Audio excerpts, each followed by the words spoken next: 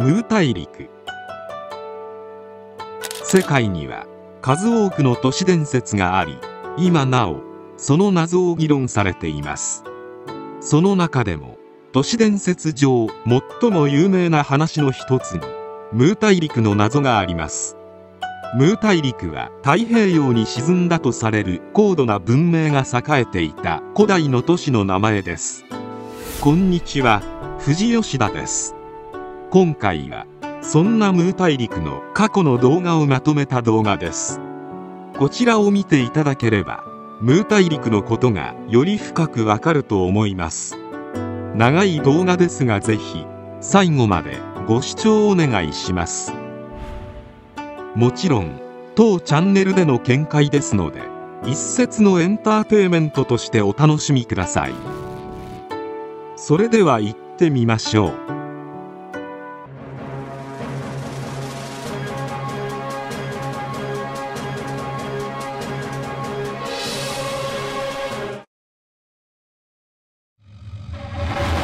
幻のムー大陸は実在した？ムー大陸実在説。謎の大陸といえばまず頭に浮かぶのはアトランティス大陸とムー大陸ですよね。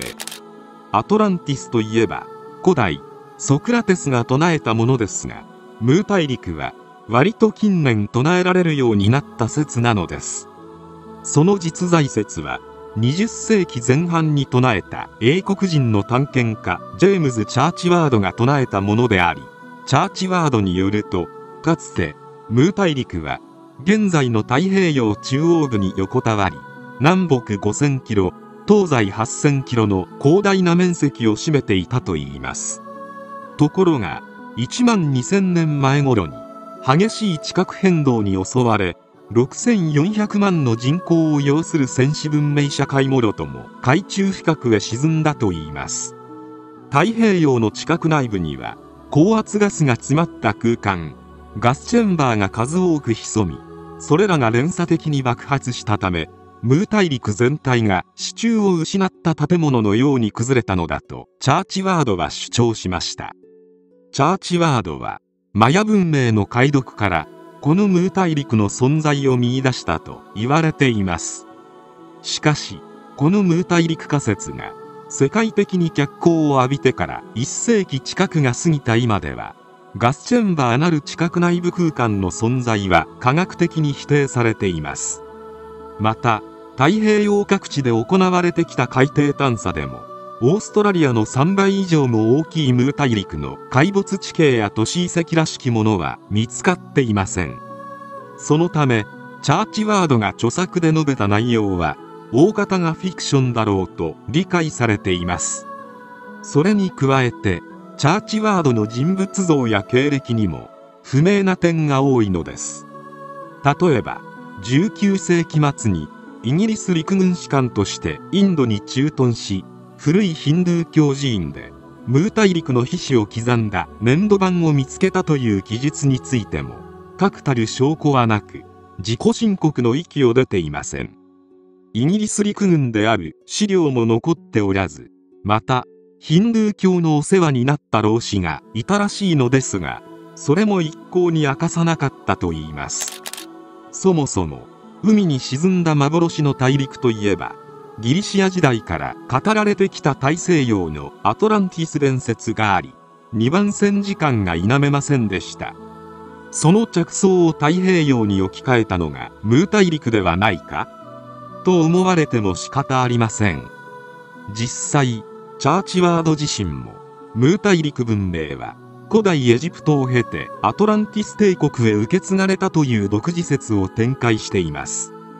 重ねて言えば失われた大陸仮説の信憑性は地球科学が蓄積した研究成果によって大きく揺らぎとりわけムー大陸の天敵となったのが1970年代に定説化したプレートテクトニクス理論でした。プレートテクトニクス理論とは地球の表面は十数枚に独立分離したプレート状の地殻がパズルのように組み合わさりさらにプレートは地質の違いから厚さ数十キロの大陸プレートと厚さ10キロ前後の海洋プレートに大別できることが分かったのです。そして約5000万年前から形成され始めた太平洋の海底は大部分が典型的な海洋プレートに属していることも明らかになったのです。それを踏まえて計算すると大陸があったとは思えないというのが当時の結論になるのです。ところがそれからさらに年月が経過した昨今大海原のどこかに存在した少なからぬ面積の陸地が急激な地殻変動で海中に没したというアトランティス伝説とムー大陸仮説のコンセプトが再び日の目を見ようとしているのです。プレートテクトニクス理論は終着点どころか通過点に過ぎず最先端の地球科学は太陽の底に眠る稀有にして驚くべき超古代大陸プレートの痕跡を再発見し始めたのです。沖合1500キロの海底に大陸地殻が再発見されたものの一つにリオグランデ海大があります。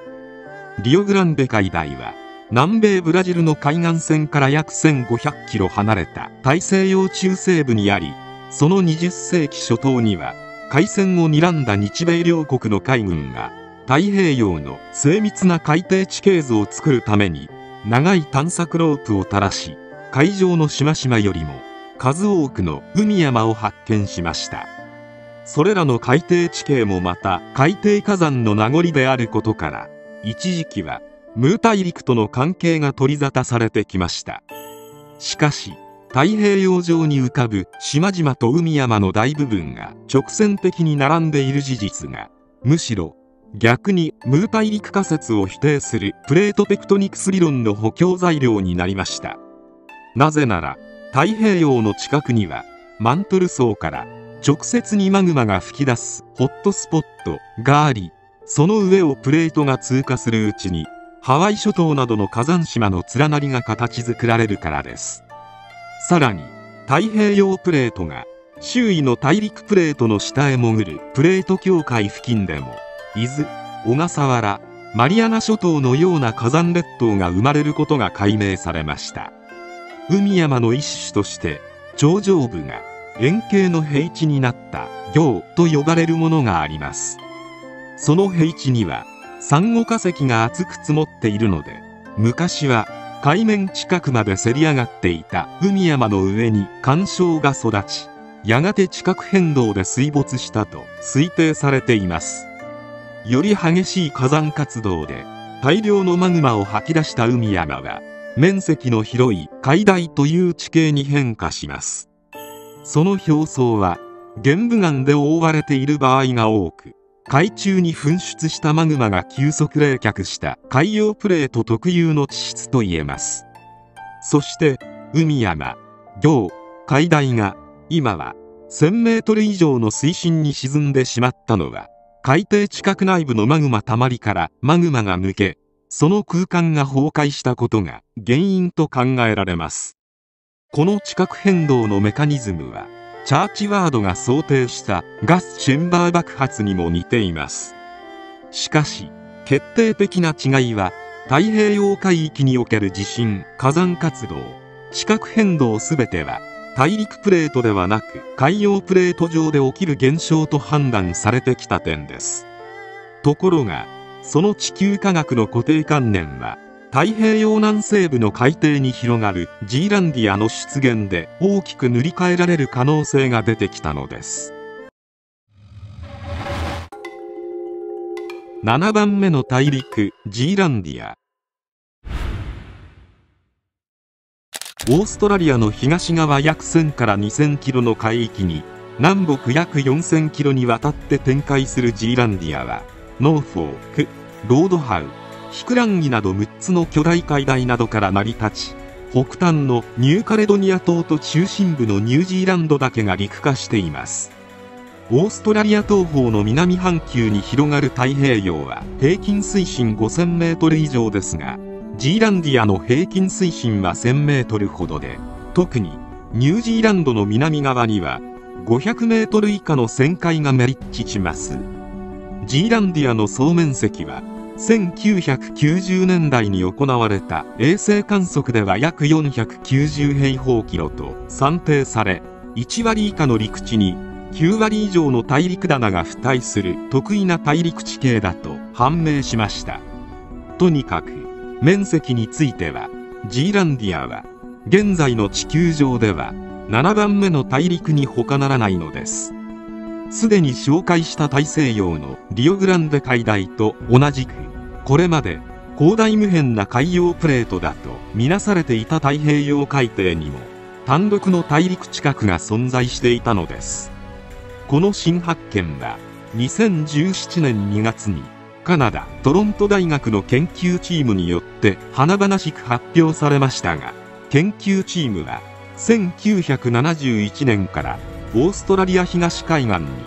最も近いロードハウ海大でボーリング調査に着手し2016年までに200カ所以上で地層資料を採取してきました。また海底表面を掘り起こして堆積物を得るドレッジ調査も数多く繰り返しジーランディアが大陸地質だという事実を裏付ける決定的証拠花崗岩の破片も4カ所で発見しました。花崗岩とは火成岩の一種でマグマが地下深くでゆっくり冷えて固まったものです。そしてこれらの花崗岩資料を科学測定した結果2億年前よりも古い年代地と1億年前よりも新しい年代地に分かれました。この測定結果から推定できるのは今の太平洋が形を整える前に進行したロードハウ海大の生成プロセスだったのです。まず2億年前までの地球上には現在の6大陸のベースとなる超大陸パンゲア1つしか存在しなかったと考えられています。しかし1億8000万年前頃にパンゲア超大陸は北半球のローラシア大陸と南半球のゴンドワナ大陸に分裂しさらに8000万年前頃にはゴンドワナ大陸の南部がオーストラリアとジーランディアに分かれました。つまりジーランディアから採取した花崗岩は超大陸パンゲア時代から悠久の長きにわたって続いた陸化時代に火山活動で生成されたということになります。そしてジーランディアが壊没したのは約4000万年から2000万年前頃と推定されています。ますます活発化する海底の地殻変動。ゴンドワナ大陸の北部については最初は合体していた南アメリカ大陸とアフリカ大陸が分裂して大西洋が現れ始めたのは3000万年前頃だといいます。つまりその頃にはブラジル沖のリオグランデ海大が陸化していました。いずれにしろ今は痕跡だけが海底に残る大陸が陸上にあったのは遠い遠い昔のことです。もちろん我々人類はまだ誕生しておらず恐竜が闊歩していた時代です。そうなると高い水準の先行文明が栄えたとされるムーアトランティス大陸と関連づけること自体が無謀にして無意味でしかありません。しかしそれを承知でなお謎が謎を呼ぶばかりの海洋底に人間社会もろとも水没した大きな島や陸地が眠っている。可能性は払拭できないのです。特に太平洋の西部海域及びインド洋にはジーランディア以外にも多くの大型海大が集中分布しています。例えば日本列島の東方約2500キロの海域にもシャッキー海大という本州に匹敵する面積の大海大があります。しかも奇妙なことにその太平洋西部とインド洋地域に限って破局的な天変地異や神々の怒りによって深い海の底へ沈められた陸地や古代王国にまつわる伝承が語り継がれてきたのです。ほんの4年ほど前には小笠原海域の西之島新島で活発なマグマ噴火が始まり今も島の面積は広がり続けています。一方2000年から4年にわたって噴火が継続した伊豆諸島三宅島では大量のマグマ噴出で島の地下に空間ができこの先に大規模な沈降が起きる可能性も指摘されています。つまり古代大きな沈降によって島が海に消えることがあってもおかしくないのです。人類誕生と文明溶乱の地にして大災悪で一夜にして没したムー。ムー大陸があると提唱した人物はジェームズ・チャーチワードという人物です。チャーチワードはイギリス出身のアメリカ人で生涯の大半を費やしたという長年の研究の成果を75歳になってから初めて世に問いました。1926年から1934年にかけて失われたムー大陸シリーズを発表しました。その第一作「失われた大陸ムー」人類の母なる地の第一章アルファ万物の資源の書き出しはチャーチワード説のテーマと内容を要領よく示しています。その本によるとエデンの園はアジアにではなく今は太平洋に沈んだ大陸の上にあったというのです。聖書の天地創造の7日7夜で天地が作られたという壮大な物語はナイル川やユーフラテス渓谷流域の民族からと一般的には考えられていますが実はそうではなく現在は水中に沈んだ。その大陸ムーから生まれたのだそうです。この主張を裏付ける証拠はインドに太古から伝わる神聖な粘土板文書の上にチャーチワードが発見しそれとともに他の国々に伝わる処分権から読み取った完全な記録の中にあるといいます。そこにはこう語られているといいます。この不思議な地は人口6400万を要し彼らは7万年以上前から多くの点で私たちのそれより優れた文明を発展させていた。特に詳しく記述されていたのは人類の創造がこの神秘の地ムーで行われたというのです。チャーチワードは全5部作を通じて太平洋のど真ん中に広がる人類誕生と文明の地ムー大陸で5万年前太陽神の化身ラムーを帝王を中心に理想郷的大帝国が繁栄し長く栄華を誇ったというのですが約1万2000年前未曾有の大災厄に見舞われ一夜にして太平洋に没したと主張しました。チャーチワードがこの大発見を成し遂げるきっかけを生んだのは著作発表の半世紀以上も前1868年英陸軍兵士として当時のイギリス植民地インドに駐留していた時のことだといいます。ナーカル粘土板文書。チャーチワードは若い頃軍人としてインドに配属されていた際とあるヒンドゥー教寺院で救済活動を行ったり古代文字の研究を行っていました。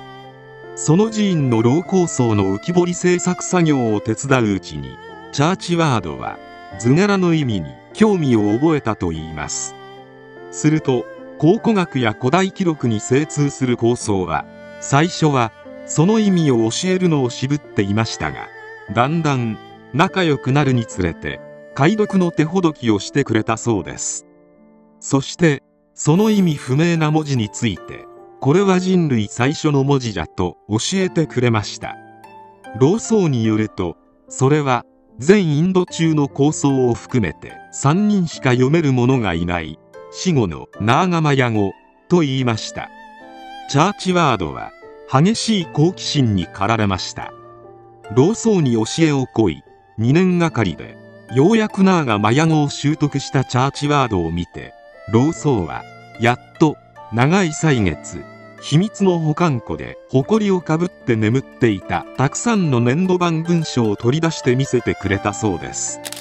それがナーがマヤ語で記されたナーカル粘土板文書で書中ではムーの聖典聖なる霊感の書の古代ナーがマヤ語写本と説明されています。ナーカルというのはムー大陸で人類最初のナーカル文明を誕生させた民族名で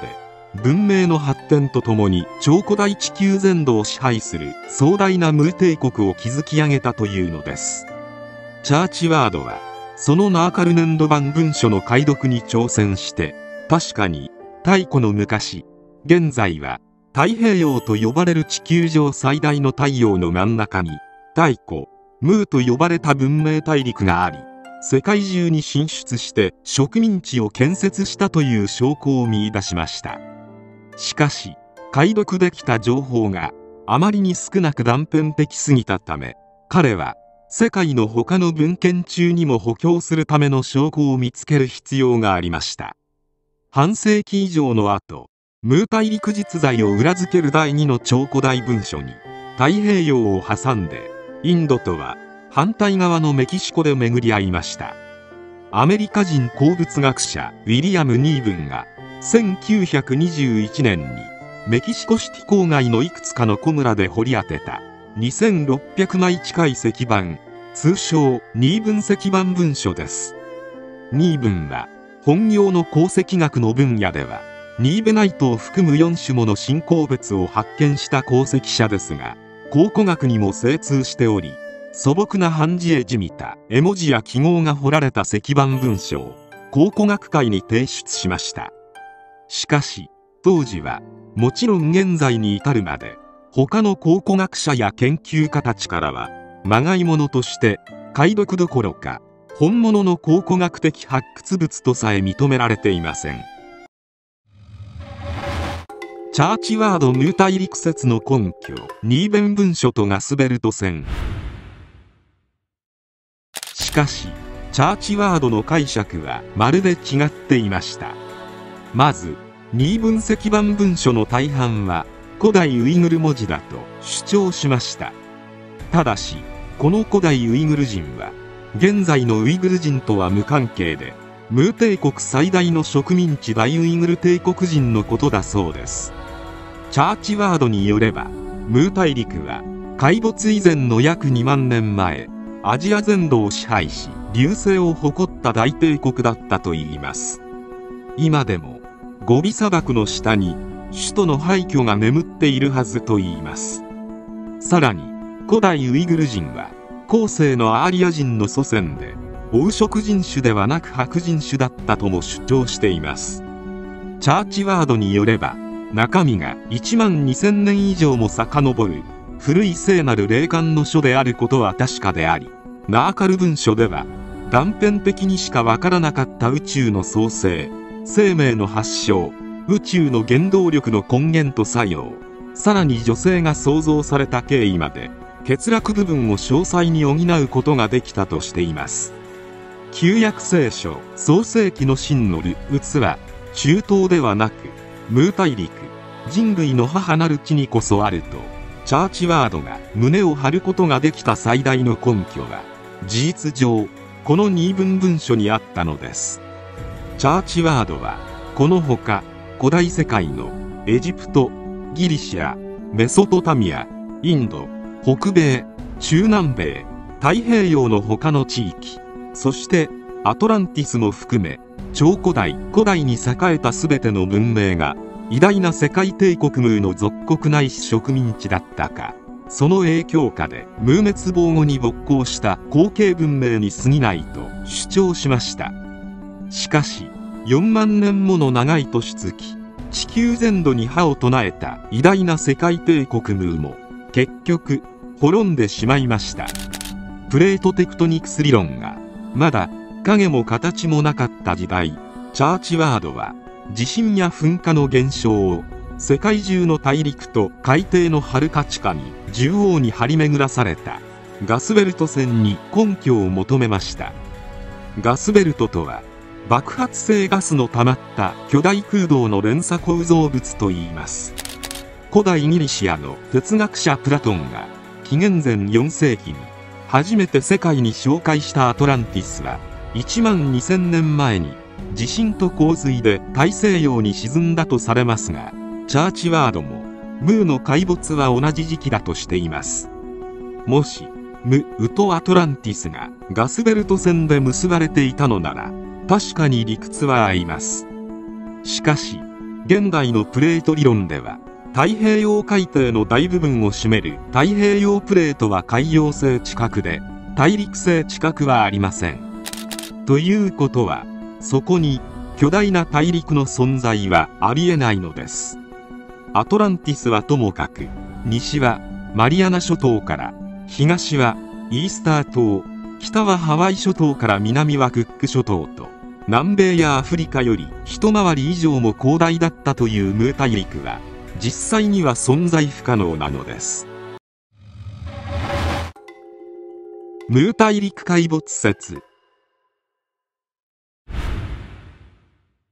チャーチワードのムー文明の実在を裏付ける絶対的証拠として聖なる霊感の書の写本というインドのナーカル文書とメキシコのニーブン文書の両方を挙げておきながら失われたムー大陸5部作全てを通じて実際に現物の写真なり模写図なりが掲げられているのはなぜかニーブン文書だけなのです。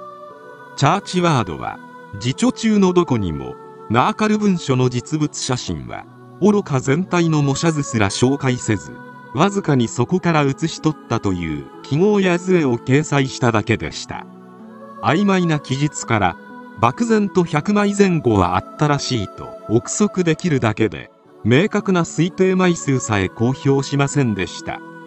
それどころかナーカル文書が保管されていたというヒンドゥー教寺院の名前もインドのどの地方に所在していたのかさらにはナーがマヤ語を教えてくれた老僧の名前もまた公開しなかったのです。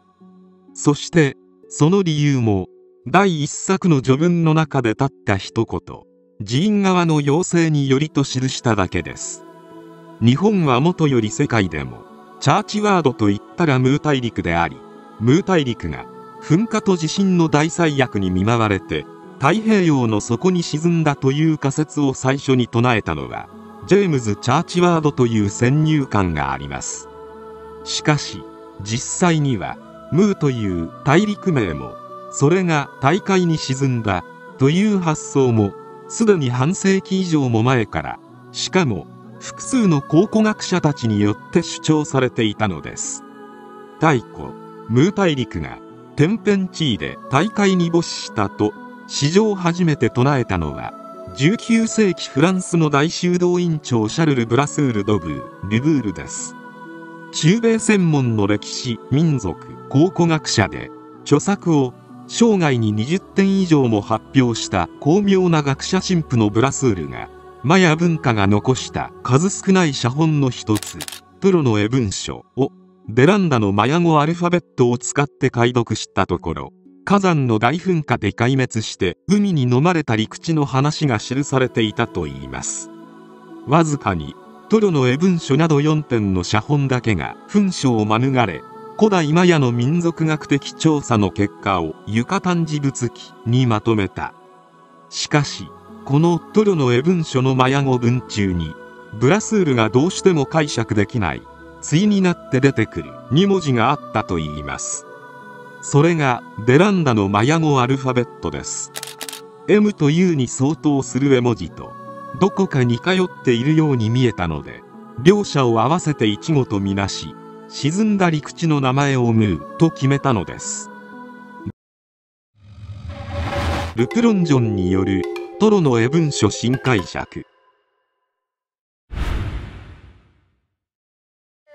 1869年に発表されたブラスールのムー沈没説にすぐさま飛びついたのがアメリカ在住のイギリス人内科医で写真撮影術に長けたアマチュア考古学者オーガスタス・ルプロンジョンでした。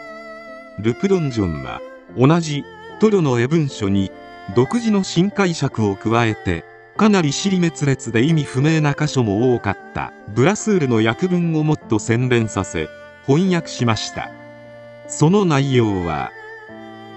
ムーは2回大きく押し上げられた後噴火の力に絶え間なく揺さぶられながら一夜のうちに消滅した。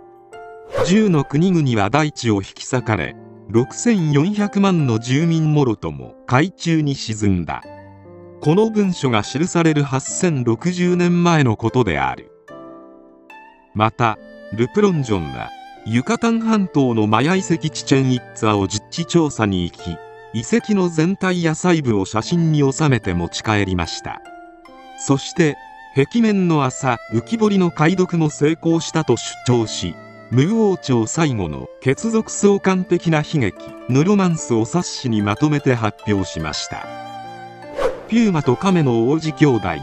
ムー女王の愛を争いますが勝者となった兄を弟が嫉妬のあまり殺して女王の国を乗っ取ってしまうのです。その最中に大陸が沈み始め危うく脱出したムー女王がエジプトにたどり着くとピューマ王子の追悼のためスフィンクスを建設。以後女王は女神イシスを名乗って古代エジプト文明の礎を築くのです。という大筋の壮大な建国物語です。失われたムー大陸にはどちらの話も紹介されていますが肝心の引用先は明示されず一見チャーチワード自身の解読結果と受け取れるような書き方になっています。しかしブラスールルプロンジョン説とチャーチワード説における最大の相違点はムー大陸が沈んだ大会の名前にあります。同じムーという故障ながらブラスールもルプロンジョンも陸地が沈んだのは大西洋だったと指摘して事実上ムーをアトランティスと同一視していたのです。とりわけルプロンジョンはムーのあった場所を中米の東側メキシコ湾とカリブ海に近い一帯だとはっきり特定してみせました。ムー大陸の存在の可能性？太平洋有自然文明遺跡。インドネシア共和国の首都ジャカルタの日刊英字紙ジャカルタポストはジャワ島グヌンパダンで地中に発見されたメガリス巨石構造物の建造年代が古代エジプトギザの大ピラミッド群よりはるかに古く今から2万年前まで遡り当地こそ世界最古の文明洋欄の地である可能性がこのほどアメリカ民間専門機関の放射性炭素年代測定によって確証された。と2012年の一面記事で報じて世界の歴史学会考古学会に大きな衝撃の波紋を広げました。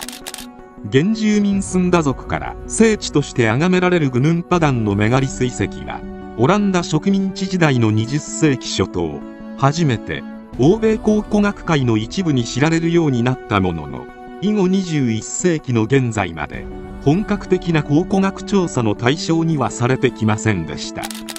しかし2012年1月その存在に強い関心を抱いた当時のスシロバンバンユドヨの大統領自らの温度取りで有自然大災害科学調査団が史上初の本格的考古学発掘調査に乗り出したのです。有志前とは歴史における時代区分の一つで一般的には文字が成立し文献資料によって歴史事象を検証することが可能な時代の前の時代のことです。彼らはジャワ島西部シアンジュルのピラミッド山形高地グヌンパダン頂上部分の地上に露出する無数の縦石群を手がかりに地中を発掘探査し太古何らかの大災害によって破滅に追い込まれ地中に埋没した有自然文明のメガリス人工丘の存在を確認しました。まず有機物サンプルの CA 年代測定がインドネシア国立原子核庁の手で行われ建造年代が古代エジプト文明より少なくとも数千年は古いという驚くべき結果が出ました。さらにアメリカの年代測定専門機関ベータアナリティックラボ社が追試したところ人類文明誕生の年代とされる1万数千年前は愚かまだ最終合力真っ只中だった。2万年前まで遡れそうな有自然文明のメガリス遺跡の可能性が出てきたのです。標高900メートル近いグニュンパダンはスンダ語で光明の山とか啓蒙の山を意味するスンダ族にとっては先祖代々大切に守ってきた伝説の聖地といいます。調査団メンバーは口々に立ったり倒れたり積み重なったりした多角形断面のブロックの石群は天然の柱状節理石を建材に使った有自然文明遺跡の地表露出部分らしいと言います。このグヌンパダン遺跡が2万年前の有自然メガリス文明の廃墟だとすると太古太平洋で繁栄し1万2000年前に噴火と地震の大災悪に襲われて海中に消えたという伝説のムー大陸文明との関連性が示唆されているのです。日本語和訳版の失われたムー大陸は着色だらけ。実はチャーチワードが記した著書「失われたムー大陸全5部作」は日本版として出版された際そのまま忠実に翻訳されなかったと言われています。原書は書き出しからして翻訳版とはまるで違う内容になっているといいます。原書5巻が翻訳版4巻に圧縮されたり第二次世界大戦以前に書かれたものが戦後になって訳されたのだから時代に合わない部分や差別的表現が割愛されたそうです。事実上原書とはだいぶ違う自由な。アレンジ役で解説的な過失や補足や書き換え。貫中は無論巻をまたいだ前語の入れ替え。原書にない関連情報中人情報。写真図版の追加など当たり前になっていましたしかしそれは原文そのものがかなりの悪文で表現や意味不明に近い文章も多々見受けられある意味これでは役者が自由なアレンジ役にしたくなるのも仕方のない内容だったようです。問題は受け身の一般読者ではなくチャーチワードの著作を能動的に利用する研究者の方です。ムー大陸論を書き発言する日本の学者や研究家は支持者も否定論者もほぼ全員翻訳版に依存しているらしいのです。例えば肯定論者の中にも日本はムー文明の真髄を最もよく受け継いだ国だとかチャーチワードは日本人をムー人の最高の末裔と認めていたなどと断定する研究家がいます。確かに原書全巻を通じればごく時たま日本にも軽く触れてはいます。しかしそこから読み取れる彼の日本の見方はそこまでではありません。太古ムー人の同胞であるマヤ人らしき集団が高度文明を携えてマレー半島経由で北上し日本列島に上陸して日本人となった。その証拠に日本国旗はムー帝国の紋章と同じく太陽を表すからだ。というあたりはまだ理解できます。しかし日本語の半分近くはマヤ語と共通するのでメキシコ原住民と日本人は通訳なしで会話できるとか。日本人は黄色人種ではなくマヤ人同様実は白人種だなどと主張されてもどんな資料や根拠に基づくのか全く示さないので到底納得できるものではありません。ムー帝国では肌の色による人種差別が全くなかったとみなす日本人研究家も多いのですが原書に書かれている内容はやはり中心的な支配階級は白人種ですしそうはっきり記述もされています。日本に好意を抱いていた印象はありますがそれも日本人を白人と信じていたからでチャーチワード本人は当時の欧米の白人たちの大半がそうだったように穏健な白人優越主義者でした。翻訳版ではそこが意図的にぼかされていますが原書には書かれた当時の時代背景が正直に反映されているのです。最初から存在していなかったのか。チャーチワードはもともと軍人の経歴を持ちますが陸軍大佐はアメリカで送った後半生での自称に過ぎず調べた限りでは英国陸軍に在籍した記録も形跡もないと言います。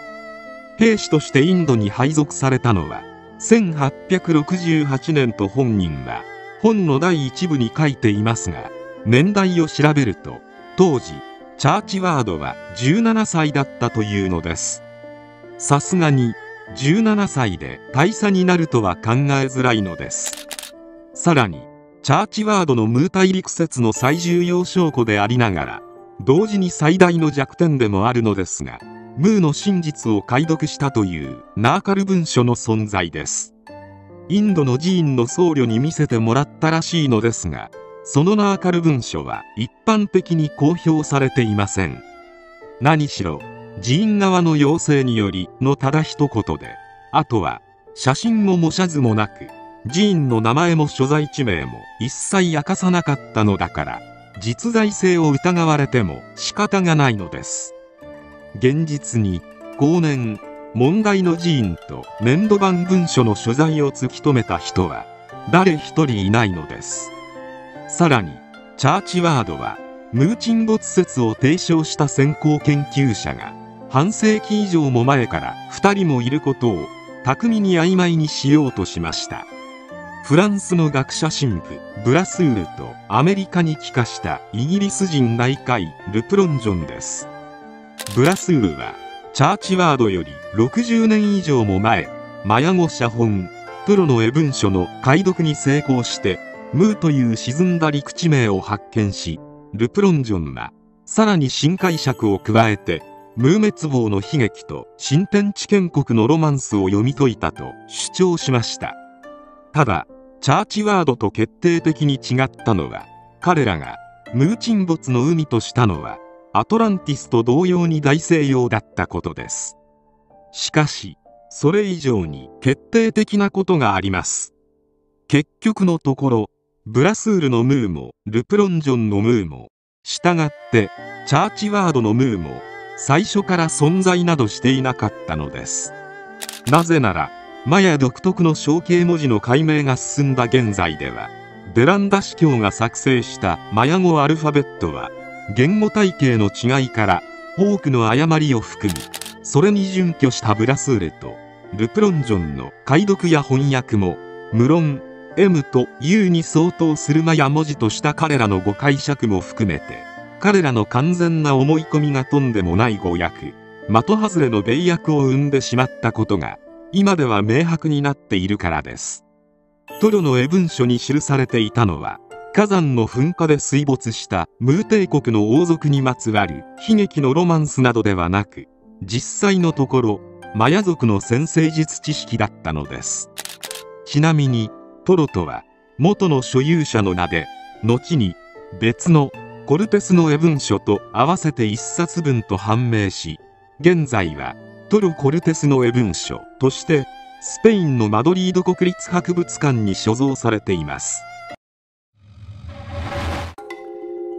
レムリア大陸問題。ムー大陸の存在自体もともと言われていたことではありましたが太平洋に文明大陸が沈んだという着想はチャーチワードだと思われています。しかし残念ながら太平洋に太古栄えて沈んだ文明があると主張した学者や研究家も彼よりはるか以前からたくさんいたといいます。19世紀半ばダーウィンの進化論が発表されて間もなくレムリア問題という自然科学上の大問題が持ち上がりました。イギリスの鳥類動物学者フィリップ・スクレーターがキツネザルの大海を隔てた陸地と陸地にまたがる奇妙な分布状態に首をひねり太古のインド洋に古大陸が存在していたためと推測。この仮想上の大陸をレムリアと命名しました。さらにドイツの熱烈なダーウィン支持者生物哲学者のエルンスト・ヘッケルがこの古大陸レムリアこそ人類が猿から進化を遂げた人類誕生と文明洋乱の木に違いないと断定したのです。ここまではあくまで生物学上の仮説だったのですが同時代の帝政ロシア生まれの神秘思想家大霊能者ヘレナ・ブラバツキー夫人がレムリア問題に関わり出すや話は一挙にオカルト臭くなっていくのです。1888年彼女が自らの神秘体験に基づいて表した気象秘密教義によればある時幽体離脱の状態でヒマラヤチベット山中に陰性する不死の超人賢者と会見し太古の英知が記されたドジャンの書を見せられました。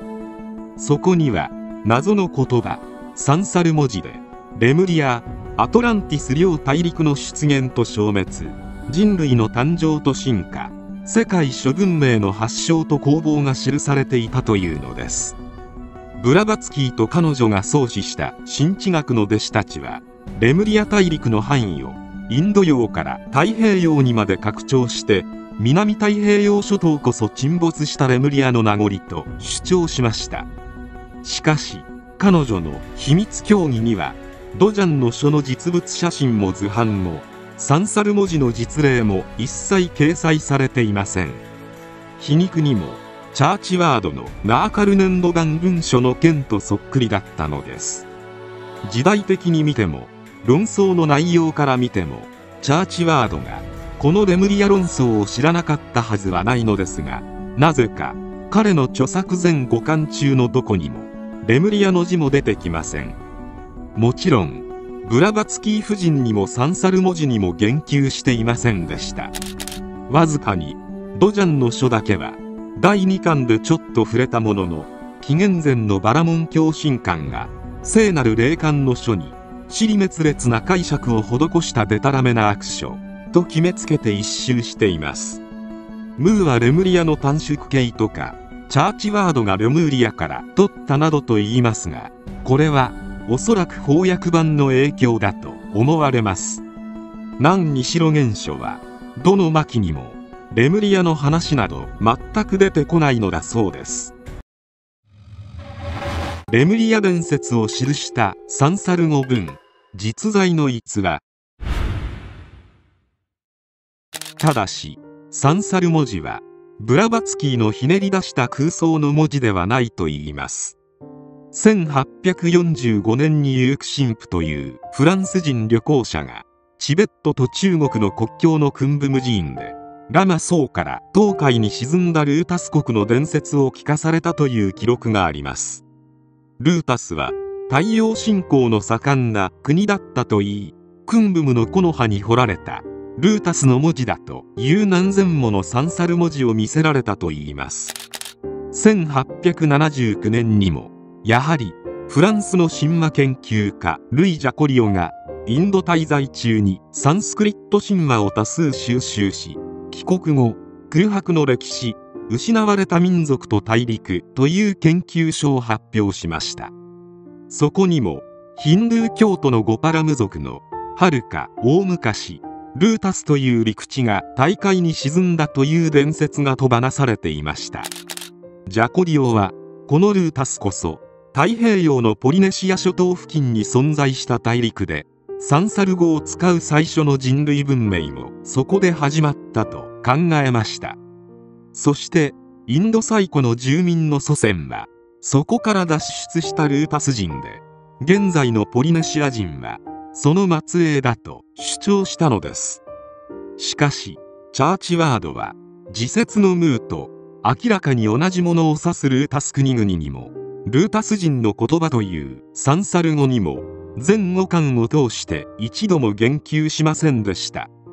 チャーチワード本人が強調したように本当にインドやチベットや南太平洋諸島を実地調査して回ったのであれば自説を支える補強証拠として役に立つはずの情報ばかりだったのですが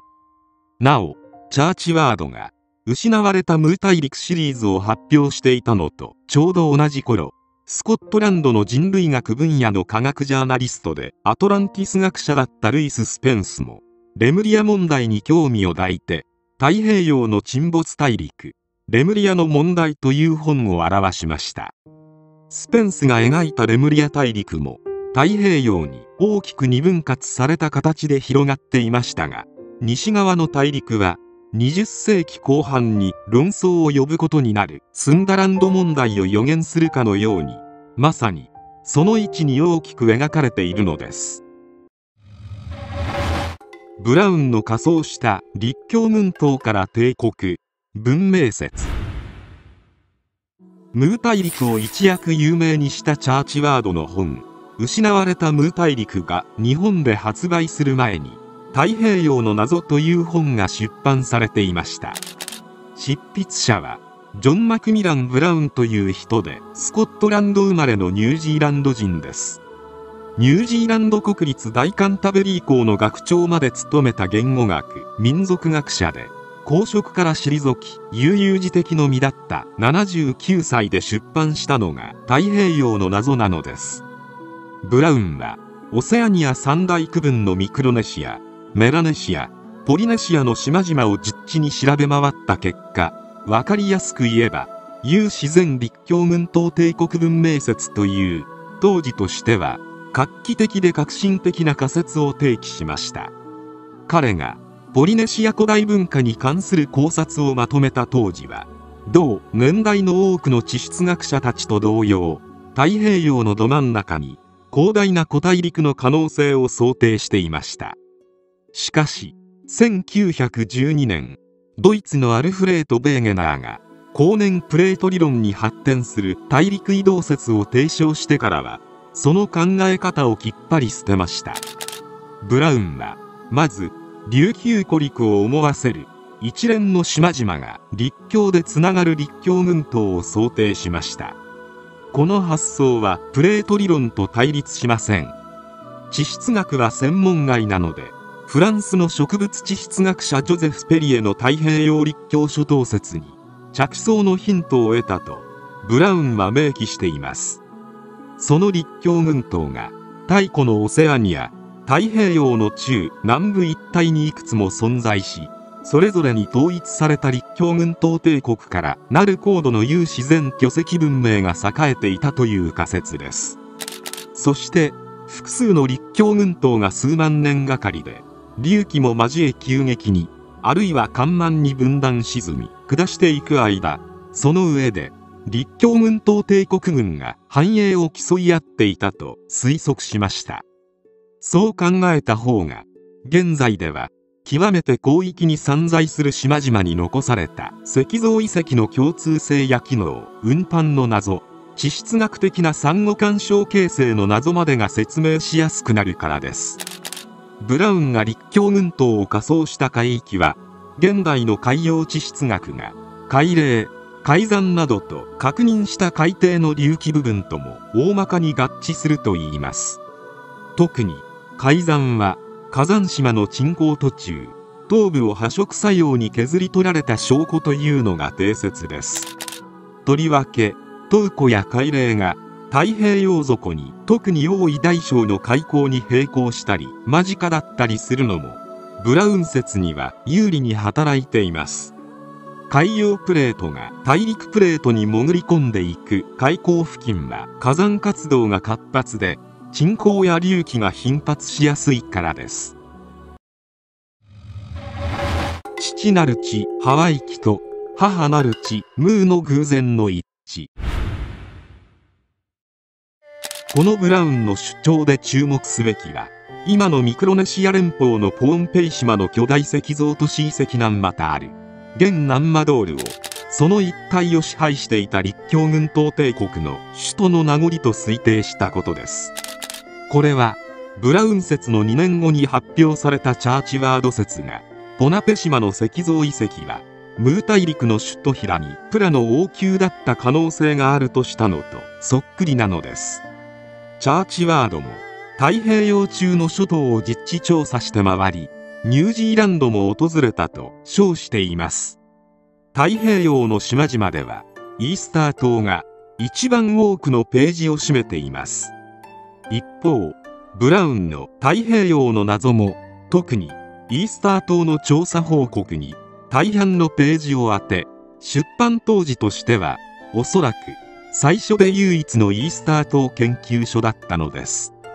チャーチワードが実際にニュージーランドを訪れたのならそんなブラウンにどこかで出会うか彼の主張について小耳に挟まなかったり出版されて間もないブラウンの最新研究所を知らなかったとは考えられません。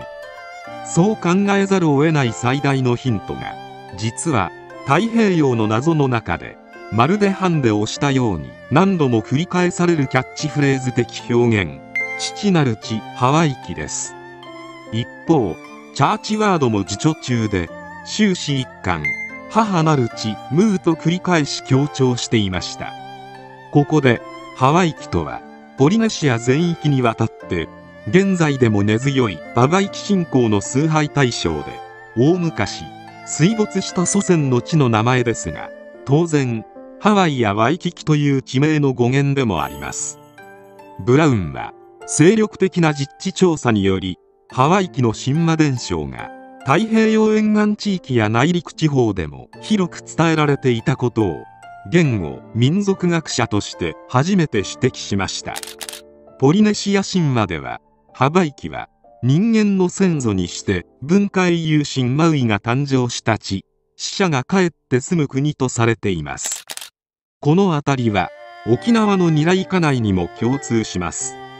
ニュージーランド原住民のマオリ族は祖先がカヌーを連ねてはるばるハバイキからやってきたという伝説を持っています。ポリネシア語ではラパヌイは大きな島で知られるイースター島でも同じです。ラパヌイ神話の文化英雄ホツマツワ王は大昔沈んだ故郷の地ハワイ機から逃れカヌー2隻に。部下300人を率いてこの島に上陸したとされています。またブラウンは同等のコメーテピットテヘヌアなどを根拠に今は水没しましたが以前は周囲を取り巻いていたいう自然立教群島文明がありこの島はその宗教中心地として神聖な祭祀場だったのではないかと推測しました。実際第二次世界大戦後イースター島付近には高い海山や以前は陸上にあったことを裏付ける堆積層からなる海嶺が発見されました。またフランスのイースター島研究家フランシス・マジエは北のガラパゴス諸島からイースター島を通り南極圏まで続く細長く巨大な立教群島が実在したと主張しています。日本とムー大陸。太平洋諸島をくまなく実地調査したはずのチャーチワードがハワイ機についてほぼ触れていないのですが一度だけは触れています。それは探検家キャプテンクックの公開日誌からです。彼らマオリ族は土着民ではなく大昔ハワイ機からやってきた。そしてハワイ機とはムー大陸のどこかでニュージーランドはムーの植民地だったと付け加えています。チャーチワードは自説のムー同様に大海に沈んだ陸地である。ハワイ機伝説の存在を知られると自説の価値が下落してしまうのを恐れて自説の中で意図的に抹殺してしまったのかもしれません。無論彼も辞書の中で多くの研究家の名を挙げその研究を引用はするのですがそれらは自説と直接関わりがないかその価値を低める恐れのない研究に限られています。しかしそんなチャーチワードの説にも気になる部分はあります。チャーチワードが日本について日本はほんの100年前まで1930年代当時の1万5000年前のムー文明の影響を色濃く残していた。という部分と1万8000年前の日本は12代の王朝が支配していたの部分です。当時の100年前はまさに幕末で徳川政権が終わりに近づいていた頃です。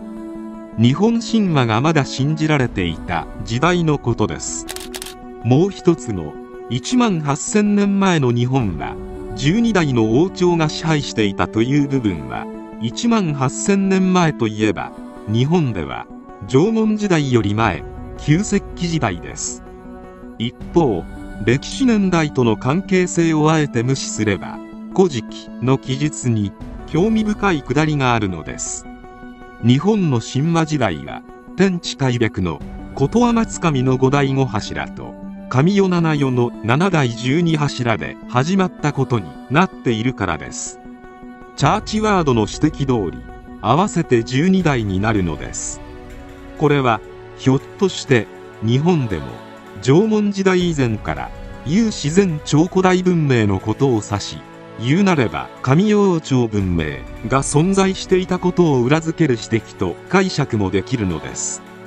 そしてそれはあくまでも超古代日本独自の有自然文明だったかもしれませんしそれとも起源は日本列島以外のどこかにあるのかもしれません。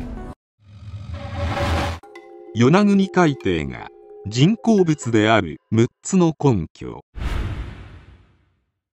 アカデミズムの世界の冷たい視線を跳ねのけて実地調査に挑んだ科学者がいます。その学者は貴重な基本情報の提供を受けた上で1992年琉球大学海底遺跡調査団を率いスキューバダイビングによる潜水調査を実施しました。それ以降も数時にわたって潜水調査のほか3次元地形探査機による音波探査ロボット装置による遠隔調査などにより3次元地形データなど様々なデータの入手に成功しました。また関連陸域に関してはレーザービーム測量と空撮によって近くの陸上地形図も作成することができました。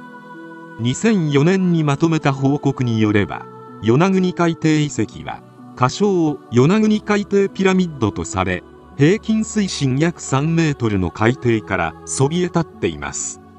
大きさは東西方向に長さ約270メートル。幅は南北方向に幅約120メートル。最長部の高さ約3メートル。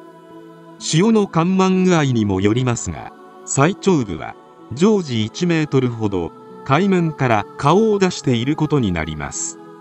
全体的には広さも形も不規則な大小多数のひな壇と複数の階段から構成され基部の終焉には部分的に幅約3メートルのループ道路が外側の壁沿いに250メートル以上にわたって巡っています。さらに海底遺跡に付着しているサンゴも石灰藻などベニソウ類の生物化石を炭素14年代測定にかけたところ建造年代は6000年前と出ました。表面付近の遮岸中のベリリウム10で年代測定すると9000年から1万年前までは陸上に存在していたことが判明したといいます。与那国海底ピラミッドは複合的な遺跡で最大の岩石構造物海底ピラミッドは第1階級と仮称されその中心部分は沿岸の荒川花から約100メートルの位置にあります。さらにその南側に発見されたずっと小さな2つの階段状地形は西から東へ第2階級第3階級と呼ばれます。中心建造物の海底ピラミッドの頂部テラスなどには神殿円形広場三角プールなどと構造体が配置されています。さらにこの与那国海底ピラミッドが人工物であるという検証結果が6個あるといいます。1階級や壁のコーナー部分に石を切る際に生じるくさびやてこの跡とおぼしいへこみが観察された。2第1階級周辺のループ道路沿いに形成時にどけられた巨石が並んでいる。3ループ道路に壁が作られている。またこの道路に入る石門の巨石が崩れたまま残されその前の広場には敷石が敷かれている。4用途がわかる石十字や丸穴が掘られた宣告石板牛らしき動物が浮き彫りされた大石など工芸品類が周辺から発見された。5第1階級は対極的には階段ピラミッドですが中南米のそれと異なり対称性がなくむしろ古代沖縄のグスクに似ている。6第1階級の道路排水溝壁などまた周辺海底の街路敷石人面像など大規模な土木工事が行われた形跡がある。ムー大陸のルーツは琉球海底遺跡。与那国海底遺跡の発見と前後して沖縄諸島を含む南西諸島で人工物らしき様々な海底遺跡の発見談が続いていました。例えば沖縄本島機械島台湾と琉球列島やその延長上に水中遺跡らしい地質地形構造物が続々発見されたのです。そしてこの水中遺跡発見報告の連鎖が始まる大きなきっかけを作ったのが1991年に出版されたムー大陸伝説。琉球古陸起源説という書物なのです。その本にはまず海洋地質学の専門家としてチャーチワードのムー大陸説はプレート理論により葬り去られたとしています。つまり過去のいかなる時代にもムー大陸が太平洋のど真ん中に存在できなかったというのです。ただしチャーチワードが自説の根拠とした様々な古文献の解釈には信頼が置けないもののその傍証とした伝承文化習俗表彰の相関性類似性はデータ量から言って統計学的に優位と認めるとも書いてあります。その上でそんなムー伝説の最重要ポイント人類最初の原初文明が1万2000年前に地震と噴火で壊没したという伝承の真のルーツこそ太古の時代琉球の地に花開いた文明の破滅の経験とその恐怖の記憶にあるというのです。琉球列島がまだ一連の立教でつながれた時代だった1万数千年前突如激烈な地殻変動に襲われて分断されその上で栄えていた文明もろとも一夜にして海中に陥没したといいます。ムー海没年代と同時期の琉球古陸。ムー大陸伝説。琉球古陸起源説はこのユニークで大胆な仮説を裏付ける証拠として地質学人類学古生物学考古学歴史学民族学言語学など各分野の証拠物件の数々を列挙しています。与那国海底遺跡や南西諸島海域に沈んでいる様々な建造物遺跡もかつて琉球古陸に栄えた有自然文明の海底オーパーツ的遺産として認めるべきだというのです。著者が提起した最重要証拠は専門の海洋地質学分野の最新発見にあります。従来の定説では琉球湖が大きな陸橋としてアジア大陸から張り出していたのは約100万年前までで以後は地殻変動に寸断されて海中に没し現在のような列島湖として存在してきたとされています。しかし海洋科学技術センターの潜水調査船による琉球海嶺周辺の地質調査データなどから実際は3万年前頃に海底が再隆起し新しい立教湖が出現しましたが約1万5000年前以降のいつか地殻の急激な断層運動により分断陥没して現在の琉球列島の形に落ち着いたと推定されるのです。つまり水没年代はチャーチワードのムー海没年代と非常に近い時代なのです。また琉球古陸の名残である現在の琉球海嶺は北のトカラ海列と南のケマラ海列で3分割されていますがこれはムー大陸は3部分に分かれていたというチャーチワードの記述に合致します。また琉球列島で化石が発見されたナウマンゾウなどが1万8000年前頃に大陸から渡ってきたとしないと説明がつかないと古生物学者を悩ませてきた問題も立教古説ならば評価するといいます。同様に沖縄本島で発掘された日本最古の縄文人とされる港川人の化石も1万7000から8000年前に大陸から渡来したと人類学者は推測していますがこれも立教庫があれば説明がずっと容易になるのです。チャーチワードはムー大陸の最後の崩壊をガスベルトの連鎖爆発に起因させましたがこれも琉球立教古時代の地下の地質学的特徴で説明できるといいます。琉球湖の内側には大陸から琉球湖を引き離す海底の裂け目沖縄トラフがあります。大陸プレートの下にフィリピン海プレートが潜り込む琉球海溝では海底火山活動が特に激しく沖縄トラフは今も拡大しながらその真下にマグマたまりを作っています。これがチャーチワードのガスベルトに相当しかつてその崩壊が琉球古陸の分断と陥没の原因となったというのです。ムー大陸は琉球古陸起源説の重要証拠の数々。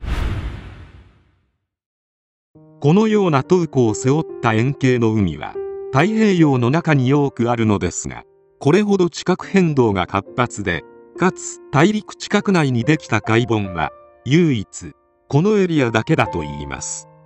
一般に氷河期が終わって氷が溶け出し世界中の海面の高さが約200メートル押し上げられたのは1万2000年前頃とされます。日本ではちょうど本格的な縄文時代が始まった時期で縄文海進むと呼ばれています。しかし当時の琉球湖付近にはそんな一般的な後氷期の海面上昇を超え場所によっては一挙に1000メートル以上も陸地が沈降したといいます。太平洋のどこを探してもそんな大変動が起きた場所は他に見当たらないそうです。与那国海底遺跡もその一部だったであろう有志前の琉球古陸文化はこの琉球立教湖の分断と陥没により海中の木図と消えたかもしれないのです。いかがでしたでしょうか？なかなかロマンのある話ではないでしょうか。沖縄の海底遺跡も人工物ではなく自然にできたものだと現代では考えられています。しかし歴史は新発見によって変わるものです。もしかしたらということもあるかもしれませんね。最後までご視聴いただきありがとうございました。もしこの動画が良かったらいいねボタンチャンネル登録コメントよろしくお願いします。